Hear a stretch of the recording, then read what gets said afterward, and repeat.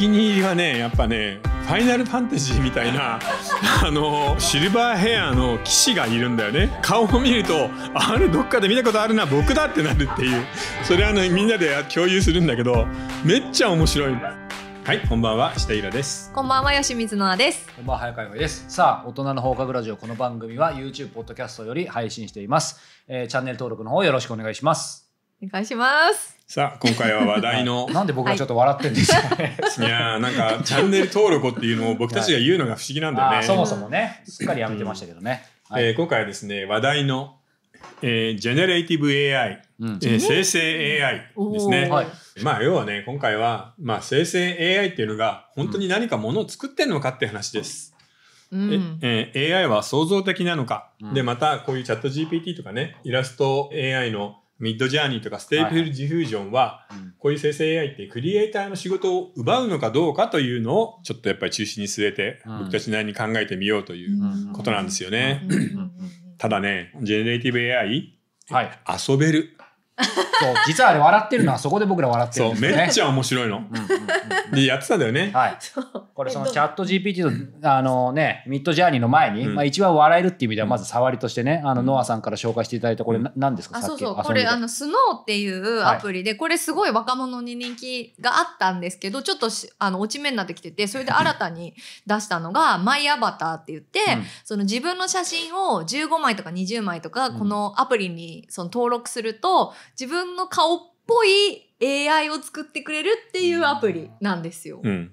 それがねめちゃめちゃ面白い。はい、そしてこれちょっと僕らでさっき共有したのでこれ後ほど何枚か上がると思いますけど、やっぱりまずはね石田先生の方かはいはいらこれやったのありますけど、イラさんお気に入りはどのあたりですか？お気に入りはねやっぱねファイナルファンタジーみたいな あのこれスタッフケーキファイナルファンタジー風わかもうりますよね、シルバーヘアの騎士がいるんだよね。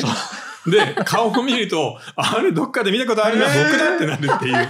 それはあのみんなで共有するんだけどめっちゃ面白い。これですね僕らちょっと、ははい。いこれ そう2.5次元なのよね。そうだよねでうん、でもそうなのよ。いや、めっちゃ面白い。あとあの、うんあの、あとは、えー香港マフィアみたいなやつとか、こうここいつやばすぎるだろうっていう。そう、これこれ、こんなうの。何億動かしてんだよそうそう、あのもう、ブレイキングバッド香港版みたいなやつね。ええノアさんが好きなイライラさん私が好きなイラさんはあの、エルフの？俺はエルフだな。もうあのエルフ笑っちゃうよね。耳が尖ってんだよ。でもイラさんがどこかイラさんですそう、よね。めっちゃ面白いよね。うん。私好きなのはうん。これかなやっぱり。ファイナルファンタジーあ宇宙人ね。宇宙戦士。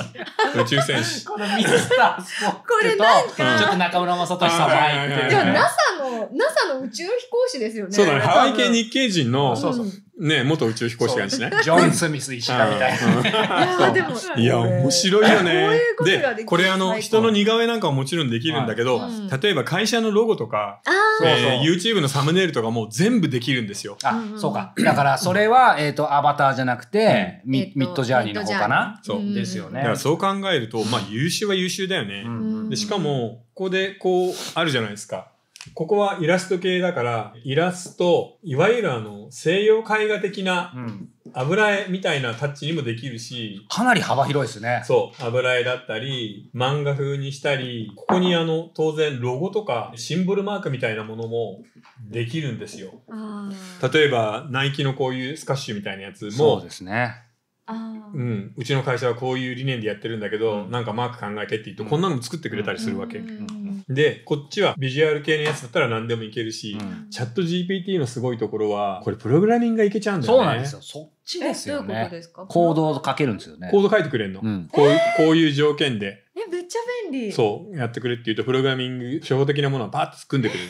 すごい。資料の検索とかも抜群に強いし、うんあ、だからそうですね。あの、先週のね、あの、完全版の最後にもおっしゃいましたけど、やっぱりその検索、うん今日のちょっと本誌に入っちゃうかもしれないですけど、そそっちですよね。なんそかね。う。で、結論から言います。まあ、生成型 AI、えージェネレーティブ AI っていうのは、基本的に、これは全くできないです。なので、人間がうまく使いこなさなかったら、正直言って、ごくごく初歩的なことしかできませんじゃあ。まだ全然おバカ。じゃあやっぱりそのクリエイターの仕事を奪うのかっていうことに対しての問いの答えは奪わないっていう今はないじゃなくて、うん。多分お言い切る。100年経ってもない。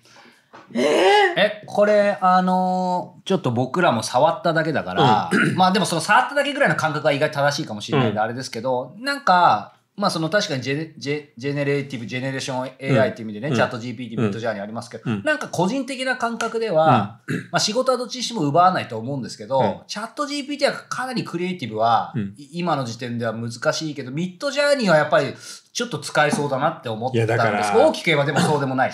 要はう、ん。これさ、どうですか？ここなんだよね。こうあって、うん。頂点の一部に名前があるようなアートの世界があるじゃん。はいはい。でも、ここの平均線以下でさ、うん。1枚500円とか1000円で描いているはい。ような、ネットで絵師みたいな人の仕事は大量になくなっちゃうと思う。だから、クリエイティブでないクリエイティブをやってる人は辛いよ。そ。れこそあれじゃないですか、この間あの動画特集でやった、えっ、と、どこでしたっけ？あの、ピカソの絵じゃなくて誰々の絵をずっとタイかなんかで描き続けて、うんあの。アムステルダム行ったらゴッホのね。うん。うんそういうのはちょっと成り立たなくなっちゃうってことですよね。そう。でもそれってもう元からクリエイティブではなかったっていう話なんで、はい。そういう意味ではしんどいかもしれない。うんうんただ、こういう資料とかプログラミングが強いっていうので、僕たちが書いてる文章のさ、うん。75%から80%ぐらいはさ、クリエイティビティって一切必要ないじゃん。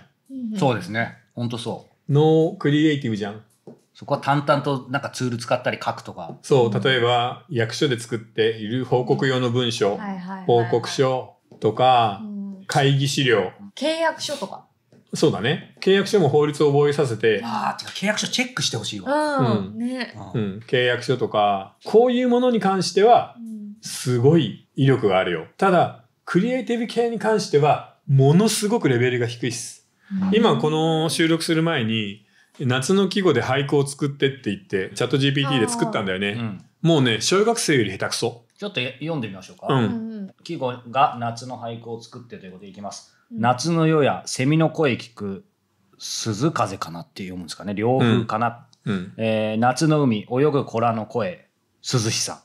うん。日がささし歩く人混む夏の街。だから、平均的よりやや下のようなものをうん大量に作れるんだよね。うんただ、例えばその、夏と涼しさ、涼しさっていうのがもう夏の季語じゃないので、もうアウトだったりするようなことは全くわかんないわけ。これひどいですね。なんか結構ひどいやつもひどいの散見いっぱいあるよされ。る。うん。これでもああれですね、ややっぱり使い方っていうかだから、そうは言っても例えばイラさんが、うん。まあそもそも使おうともわかんないですけど本気で使ったら、うん。なんかそのアシスタントのアシスタント的なもともと小説の話もあったじゃないですか、なんかそういうのの可能性とかっていうのは感じますか？感じないな。感じない、うん。うん。例えば、僕たちで漫才の台本をチャット GPT を使って書こうとか、今の俳句でもいいし、詩でもいいんだけど、そういうのをやろうとしたら、もうまるでダメだと思う。やっぱやっぱ そういう創作系はもうかいダメなんだな。もうね、皆無だね。だって、アニメの脚本これに任せたいと思う？いやーこのレベルじゃ商売になんないでしょ。ねえですね。うん。ちょっとその俳句み俳句？うん見て。なななんか作作ってみる？今ちょっといや、うん、いろいろちょっと考えてきたんですけど、そでもちょっとねそういうのは合わないんだなっていうのが今こう分かったんで、うんあんまりいいのはできないのかなって、。だから、うん例えばジョークとか教えてもらえばいいじゃん。あージョークうん。自己紹介するときそれは難しいな吉水の葉が、うん吉水が、うん。えー自己紹介する時の一発ギャグ。こんにちは。私、吉水です。私、最近転職したんですよ。前は海水浴場で監視員をしていたんですけど、今は山登りのガイドになったんです。だから水と山、どちらも得意なんですよ。笑い。意味が、意味がわかんない。あのね、心が強い人しかできない。これでも、チャット GPT かばうわけじゃないし、あの、ノアさんをディスるわけじゃないんだけど、ややっぱり何を入れるかうん。に全てかかってますよね。その、違う違う。それも前提条件として、うんここの範囲の中で何を入れるかだけなの。クリエイティブなものに関しては何を入れても無駄。あーうんうんでもこれ多分キーワードとして水っていうのが入ってるから海水浴場のそうだね。店員っていうよくわかんない設定じゃあ、これいきましょうか。石平風のうん。小説を、短編小説。でもそれ設定入れないとやっぱダメなんじゃないですか？いや、できるできる。できるあダメできるんだすごいね。あなたに会えた日、タイトルいきましたよ。夕暮れ時、駅前のカフェに座る私。窓の外には人々が行き交い、車の音が響いていた。ふと隣の席に座った男性が私に微笑んだ。彼は銀色の髪と青い瞳が印象的でまるで海を思わせるような魅力的な人だったすいませんこの席は空いていますか、うん彼は穏やかな声で尋ねた。私は彼の目を見つめ、どこか懐かしい気がして微笑みながら、はい、どうぞと答えた。しばらくして彼との会話が始まった。うん彼は旅行中でこの街が好きでたまたま立ち寄ったという長えな。そりゃそうか短編だが、そして彼は私に向き直り言った。うんあなたと出会えたこと本当に嬉しい。人生で大切な瞬間の一つになるだろあー私は。なんか違いますよ、あのね、はっきり言っっていあの、平均レベル以下のものを大量に垂れ流すことは得意だけうど、んクリエイティブの世界で平均レベル以下っていうのは、ゴミってことです。だから、これだっちの世界では使えないんだよ。もう小説としてまず成り立ってないですよね。うん。ただだからその 今ねこの収録じゃないそこまで細かくできないんですけど、ミッドジャーニーの方も、うん。まあ後でちょっといくつかね例出せればと思いますけど、ミッドジャーニーの方はある程度もう本当にちょっとした単語でもかなりやってくれるんですけど、あの細かくやればやれやるほどミッドジャーニーもかなり詳細な精度が上がるよね。うん。ただなんかやっぱ思ったのはさっき僕らもほら実はちょっと話してましたけど、文章、うん。テキストの方がちょっとハードル高くないですかね？あのね、これは、あの、チャット GPT が求めてるのはうん平均なんですよ。うんうんあの、簡単に言うと、僕たちが何かを入れると、もう本当に100万とか200万とかのサイトをバーって見て、そこのワードに関する情報を拾ってくるの。うんうん何でもいいんだよ、これは。別に、まあ、石平でもいいし、水でもいいようね。んでも、まあ、傭兵っていうこの名前でもいいんだけど、うんこれで拾ってきた情報で文章を作る。今日のお天気は晴れになったら、晴れにつながりそうな言葉をうん何パーセントで一番つながりやすいかっていうのを次から次へとこうやってはめ込んでいくわけ。うん晴れで、例えば暑い、今の季節とか考えてっていう意味で、今日は晴れて暑くて、例えば日傘がいるねみたいなつなぎ方をしていくだけなの。で、ここの意味に関しては分かってないの、この人たち。ただここだから75%つながりやすい。ここは日傘、ここは80%つながりやすいっていうので、最もらしくつながるものを続けているだけなんで、それの平均的なものを探してるだけじゃん、これ。だから表現として面白いものにいかないわけよ、絶対。そしてもともと転がってるパズルのピースをただ組そうみ組んでるだけそう。ただ、その報告書だったらこれでいいよね。そうですね、うん求められ例えば、ないですよね。うん、何でもいいんだけど、えー関ヶ原の合戦の、えー流れを教えてくださいだったら、資料を引っ張ってきて教えてくれるからいけるんだけど、何かクリエイティブだったり、冗談だったり、俳句、アニメの台本とかっていうことになると、これはもう全く機能しないの。ちなみにこ例えばイラさんの小説の設定とかをうんそのままここに事細かく入れたらなんない。ならないんだ。うんこれ、要するに、うんこの言葉一個一個にうん意味のつながりとしてやってるけれど、うん言葉の美しさっていうパラメーターはないの。はいはいはいはいはい。だから、これなりの文体ができるかっていうと、文体できないんだよね。石平が俳句を書いたら、はい、うん一句読みます。はいはい春の風、桜舞い散る、心ざわめく。あ、J-POP じゃん。桜、桜でも心ざわめくらしいですよ。でもはっきり言って、そのぐらいのレベルの歌詞いっぱいあるよね。うんうんでもそれは、あの、J-POP の平均レベル以下の歌手の歌詞だから。うんうんあ、じゃあ、その J-POP の歌詞とかだったらなんとなくいいの出てきそうな気ません？うん来ません。来ません。しま僕はせん知りません。でもやってみたらう、ん。全く心に残らないようなものになるよ。なんか、恋愛、恋愛ソングとだから、これ、ここの話、まあもちろんだから今日テーマなんですけど、ね、やろうと思えば、うん。ここで心をの残すようなね、うん。キキーワードの打ち方とか、うん。できるかもしれないけど、でももうそれやってたら自分でちゃんと考えた方がクリエイティブなことに関しては良さそうです。そうだね。あの、うん。物を作るっていうようなことに関しては、資料的な下調べ以外にはほとんど役に立たないです。うん。ただ、世の中の文章の 7割とか8割に関してはさ、そうじゃなくて、ただ単純に事実がちゃんとまとまってればいいっていうだけのものっていっぱいあるじゃない、うん法律にのっとってとか、プログラミングとして間違ってないとか。うんあと構成してもらうとかね。そう。うんだからこういうのに関しては使えるけど、うん普通の人が何かものをちゃんと考えてたり、作文を書いたりしないといけないっていうようなものとしては全く。だからなんだろう？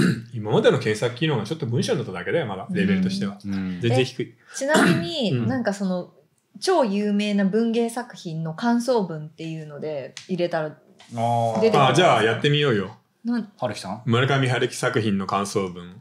何でもいいけ具ど。体的にこの新作にします？新作で出てきます新作入ってないと思う。じゃあノルウェーの旅でいいんじゃないですか ?1984 とか？あ、1984でいいよ。1984 1984の感想文が面白い。そう、ちょっと多分めちゃくちゃになると思うけど。そういうの本当苦手だからこの人たちのじゃあいきます。うん。198は村上春樹が書いた壮大な物語で非常に魅力的で興味深い作品だと思います。この小説は1980年の東京と2つの、これ感想じゃねえじゃん。ガラス字書いてる小学生と一緒じゃないですか、これ。ある意味正しいけど、あ、ちょっと待った。物語で書かれる現実と夢を交錯する不思議な世界観は、彼ならではの独自の文体で表現されており、非常に魅力的であります。うんまた登場人物の思考や感情描写も非常に緻密に書かれており心情に共感することができます。特にうん。主人公の2人の人物像には深い感情が込められておりその運命的な出会いや別れには読者の心を打つものがあります、うん。もん全然です。っていうなかっていうか全然抽象的ですよね、うん。だから結確局図書館の紹介カードみたいなのを下手くそに書くぐらいがレベルの山だね。そうそしてネットに転がってるものを引っ張ってくるぐらいだから、まあ、ネットに転がってるのもちゃんとした文章ありますけど、うん。でもゴミみたいなものもたくまあほさんあるから。とんどだね、うん。これってなんか他の人が、うん。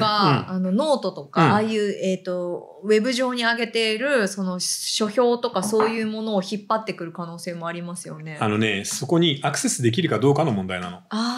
だからノートとかは多分チャット GPT に使わせてくれって言ってもあげないと思う、うん。ちなみに今英語圏のチャット GPT が資料10だとすると日本語圏でやってるのは10分の1ぐらいなんでうん。情報の精度が低いんだよね、ここもっと増やさないと。うん、あの、 OpenAI、ChatGPT の人たちは日本語をもっといっぱい資料として入れるよって言ってるけど、うんまだまだ、これすごいお金かかるから。なので、その生成 AI って言っても、今まで検索で調べられたことを文章の形でなんとなく読めるようにまとめられるよぐらいのレベルです。あーだから本当に頭のいい12、3歳ぐらいって感じじゃないかな。うんうんこれまあね今結構チャット GPT にね、中心に話をしましたけど、あのまあ個人的にはミッドジャーニーは結構うん。面白いかなと思ってるんですが、まあこれはねあのちょっと話がかなり長くなったんで、本編の方でね、うん。ちょっと、えーまた具体的にまたね作ったものを見せたいと思います、さあここでお便りとご質問お願いします。はい。えー、お便り、ビーフビーフさん30代男性からです。えー、シャープ169の日本の SF 特集を拝見しました。